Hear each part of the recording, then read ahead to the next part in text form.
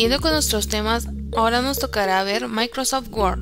Y esta es la clase número 1, que es Microsoft Office Word. Microsoft Word es un software informático procesador de texto, de los más utilizados a la hora de trabajar con documentos digitales en la actualidad. Esto quiere decir que podemos trabajar cartas, documentos, texto, todo lo que lleve texto básicamente lo trabaja Word en la forma digital y nosotros, nosotros aprenderemos a cómo utilizarlo de la mejor manera. Bueno, para comenzar tenemos que encontrar nuestro programa Office Word, que ya sabemos cuál es su icono, entonces le vamos a dar clic. A primera entrada nos aparecerá una ventana de inicio, en el cual nos mostrará un documento en blanco. También nos aparecerá plantillas, plantillas ya determinadas que ya están hechas solo es para nosotros colocar la información. Y en la parte de abajo nos aparecerá documentos recientes que hemos abierto y que podemos volver a abrir.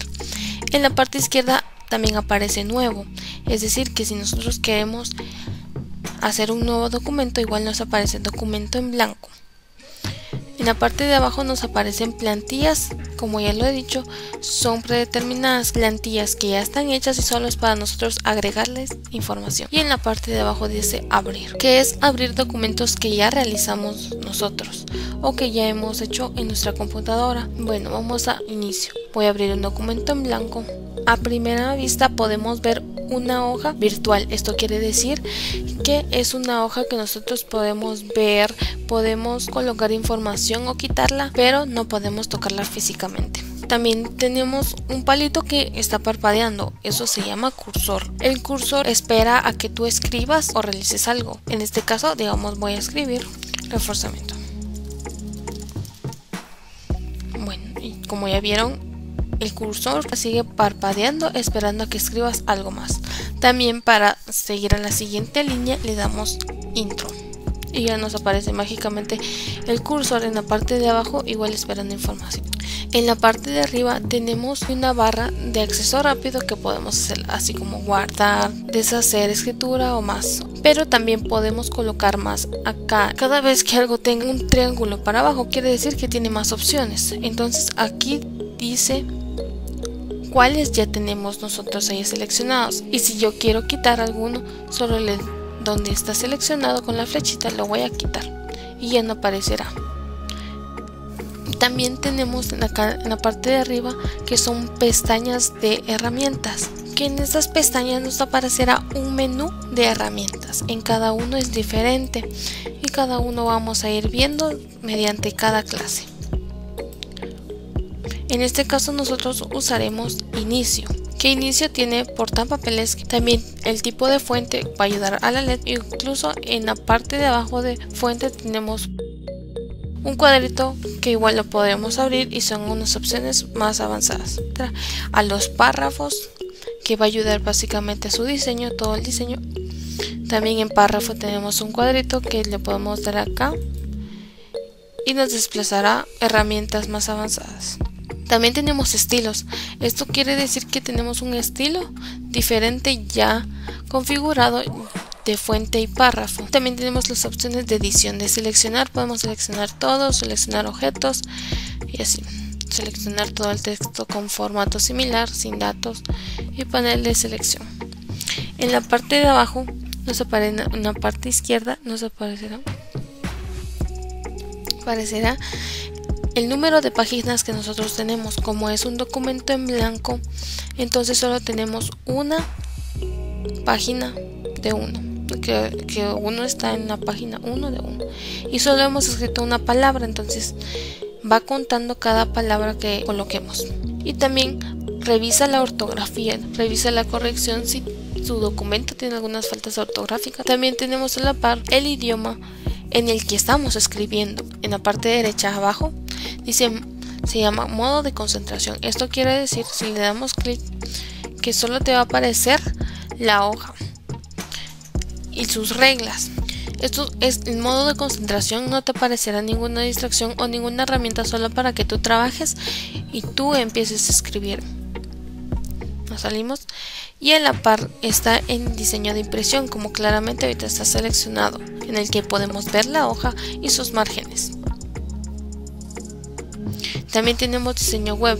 Esto quiere decir que como se vería en diseño web, pero podemos volver a diseño de impresión.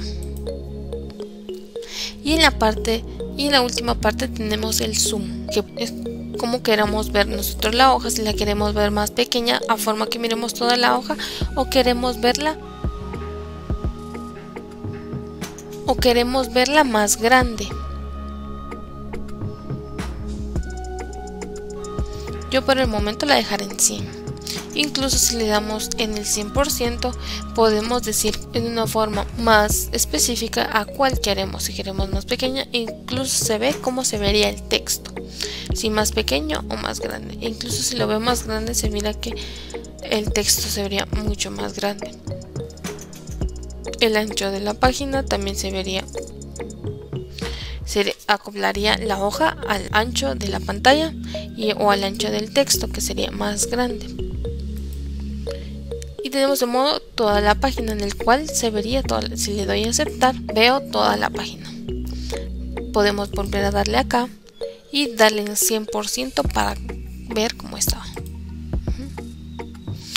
incluso en la hoja tenemos nosotros unas reglas que es en posición vertical y horizontal esto nos ayudará a definir los márgenes de nuestra hoja para que no salga muy junto de donde inicia la hoja, que no salga muy junto al lado izquierdo o que no salga muy junto en la parte de arriba. Tenemos un desplazador en la parte derecha seleccionándolo para abajo o para arriba. De tal forma que podamos ver todas las hojas. Bueno, espero que hayan conocido alguna de las herramientas de Word. Si ya terminamos nuestro documento o de escribir, la parte de arriba dice cómo se va a llamar nuestro documento, pero nosotros también podemos cambiarle de nombre al guardarlo. Entonces le doy en la pestaña de archivo que archivo también tiene muchas funciones que es información sobre la página, guardar, guardar como imprimir, mandar a compartir o exportar y transformar. O también la opción de cerrar la aplicación entonces en este caso para guardar lo voy a guardar como acá nos da una serie de carpetas en la cual podemos guardar. Y también tenemos la opción de buscarlo de otra forma en examinar. Entonces vamos a examinar nuestras carpetas. Yo la voy a guardar en escritorio ya que tengo una carpeta que diga clase. Acá le voy a poner de nombre. Reforzamiento. Y le voy a dar guardar y en la parte de acá arriba también tenemos las opciones para minimizar minimizar el tamaño y cerrar. Podemos ver que el nombre ya cambió.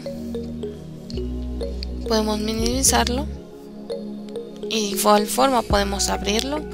Podemos hacer más pequeño. Va a cambiar. O podemos cerrarlo. Ya cerró entonces vamos a ir a nuestra carpeta donde lo guardamos. Y le voy a dar doble clic y nos aparecerá mi documento. Yo le puedo dar doble clic. Puedo volver o almacenar más información. Que quiere decir clases.